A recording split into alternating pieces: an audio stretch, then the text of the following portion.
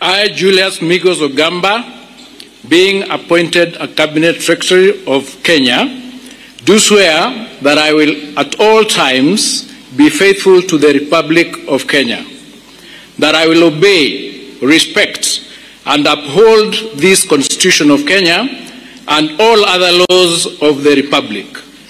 that I will well and truly serve the people and the Republic of Kenya in the office of Cabinet Secretary, that I undertake to hold my office as Cabinet Secretary with honor and dignity, and I will be a true faithful counselor to the President for the good management of the public affairs of the Republic of Kenya.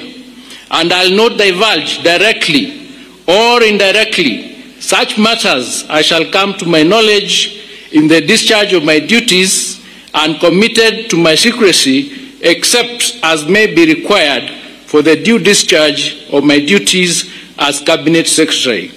and that I'll perform the functions of my office conscientiously and to the best of my ability. So help me God.